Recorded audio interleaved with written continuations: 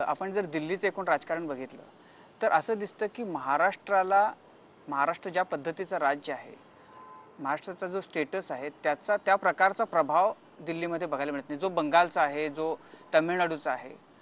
आणि मराठी माणसालाही कायम गेल्या काही काळामध्ये याच्यामुळे अस्वस्थ वाटत आलेली आहे की आपण कुठेतरी दाबले जातोय चेपले जातोय. मला तुमचं म्हणणंच पसंत आहे. हे अजिबात असं घडलेलं नाही. असं घडत म्हणजे शिवसेना वाढतीये मनसे वाढली हे त्याशिवाय वाढली. नाही, ठीक आहे तर असं आहे की इथं काँग्रेस दुबळी झाली नसती तर ते वाढले नसते. असं आहे की हे असं काहीतरी घडतं. ही एक पद्धत झालेली आहे महाराष्ट्रात फॅशन झालेली आहे. विशेषतः चार पत्रकारांनी सतत म्हणायचं की दिल्लीमध्ये महाराष्ट्राचं काही राहिलेलं नाही. महाराष्ट्राला कोणी विचारत नाही. महाराष्ट्राचं कोणी हे याच्यात काही फारसं तथ्य नाही. या देशाच्या सगळ्या निर्णय प्रक्रियेमध्ये महाराष्ट्र महत्त्वाची भूमिका घेतो. महाराष्ट्राच्या सुद्धा प्रश्नामध्ये देशसुद्धा ते तुम्ही जे आत्ता म्हणता बिहारचे मुख्यमंत्री हेच म्हणतात किंवा बिहारचे राज्यकर्ते हेच म्हणतात उत्तर प्रदेशच्या मायावती ह्याच म्हणतात की आमच्या राज्याकडे दुर्लक्ष आहे. आज कर्नाटक आपल्या केरळातले शिष्टमंडळावर शिष्टमंडळ आम्हाला येतात ते हेच सांगतात की आमच्याकडे दुर्लक्ष झालेलं आहे. पण त्या अपेक्षांची पूर्तता आपण आपल्या राज्यामध्ये करण्याच्या संबंधीची पावलं टाकायची ऐवजी ती दुसऱ्याने कोणीतरी केंद्राने केली पाहिजे ही भूमिका मोठ्या प्रमाणावर मांडायला सुरू झाली. त्याच्यातून अशा प्रकारची भावना येते. पूर्वी यशवंतरावजी होते मुख्यमंत्री वसंतराव नाईक साहेब होते वसंतराव दादा होते शंकरराव चव्हाण होते किंवा आम्ही लोक सगळेजण होतो. त्या सगळ्या कालखंडामध्ये सगळं लक्ष हे डेव्हलपमेंट ओरिएंटेड पॉलिटिक्समध्ये होतं. आता ह्या डेव्हलपमेंट ओरिएंटेड पॉलिटिक्सवर काही मर्यादा आलेल्या आहेत. आणि त्याचे परिणाम आपल्या इथल्या स्थानिक परिस्थितीच्यामुळं आपल्याला सहन करावं लागतात. याचा अर्थ आपण आपलं घर दुरुस्त करण्याचा विचार करण्याच्या ऐवजी आपण दुसऱ्याला दोष देणं हे मला स्वतःला योग्य वाटत नाही. आपण आपलं घर आपणच दुरुस्त केलं पाहिजे. आता जे निवडणुकीच्या नंतरचं जे चित्राबद्दल तुम्ही बोलताय त्या परिस्थितीमध्ये जर गरज पडली तर राज ठाकरेंची मदत घ्याल तू मला नाही वाटत ती घेण्याची वेळ येईल. आणि मला मीच आता तुम्ही जो मगाचा प्रश्न विचारला देश आणि देशाच्या पातळीवर महाराष्ट्राचं स्थान. सबंध देशाच्या पातळीवर राष्ट्रीय ऐक्याच्या प्रश्नाच्या संदर्भात महाराष्ट्र जर बाजूला राहिला तर मला असं वाटतं की त्याच्यात महाराष्ट्राला जबरदस्त किंमत द्यावी लागेल. महाराष्ट्राचं त्याच्यात नुकसान होईल.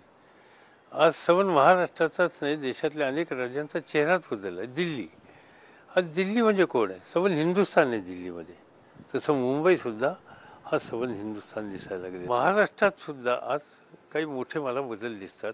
त्याच्यात मराठी माणसांनी सुद्धा विचार केला पाहिजे. आज तुम्ही मुंबईमध्ये गेलात किंवा अनेक महत्त्वाच्या शहरांच्या मध्ये गेलात.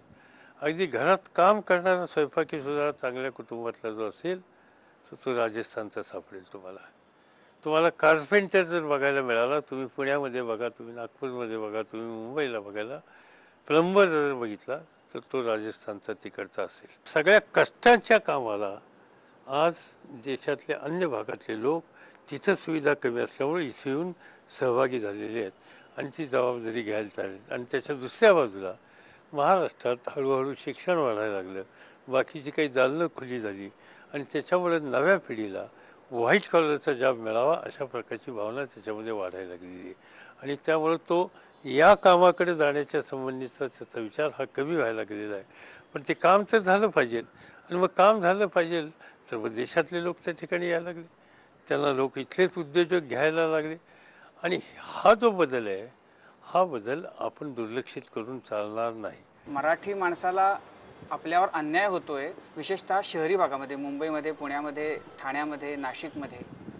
आणि आपण उपरे झालोय आपल्याच भागामध्ये याचाच परिणाम मनसे किंवा शिवसेना वाढण्यात झालेला दिसतोय.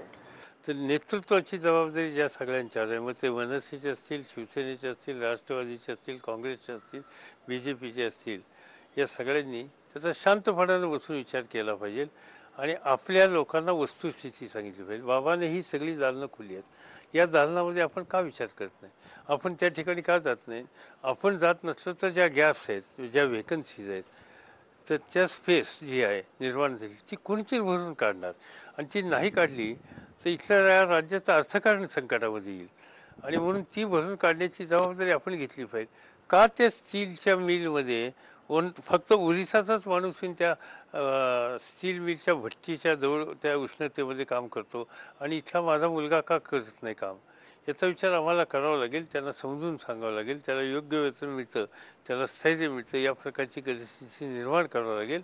पण त्याला त्या तरुणाला आपण एक योग्य प्रकारचं एक त्याच्यामध्ये पण त्याच्यात जर पहिल्या दिवसापासून आम्ही हे घडवलं तुझ्या अन्यायच होत आहे तुला काही तू पदार्थच मिळत नाही. तुझं जीव हे दुसरंच कोणतरी हिसकून घेतो.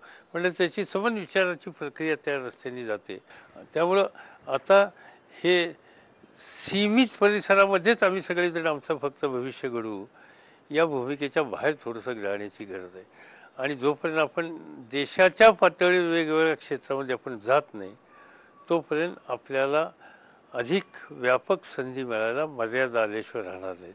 आणि माझं स्वच्छ मत आहे की मराठी माणसाने त्याच्यात कुवत आहे त्याच्यात दृष्टी आहे त्याच्यामध्ये देशाच्या संबंधीची बांधिलकी आहे त्या सगळ्या गोष्टीचा उपयोग देशपातळीवर करण्याचा आणि त्याचा पर्यायी उपयोग राज्याला मिळेल कसा याची खबरदारी घेण्याची मानसिकता ठेवली पाहिजे. आज सुप्रियाच्या राजकारणाला पोषक आणि खऱ्या अर्थानं शक्ती देणारं काम माझ्यापेक्षा अजित करतोय. पण आता अजितसुद्धा अजितची ही पाचवी टर्म आहे म्हणजे असं काही नाही तो काल काहीतरी आलेला वीस वर्ष तो निवडून आलेला आहे. पार्लमेंटला एकदा निवडून आलेला आहे. त्याने आपलं प्रशासनाची कुवत त्या ठिकाणी दाखवलेली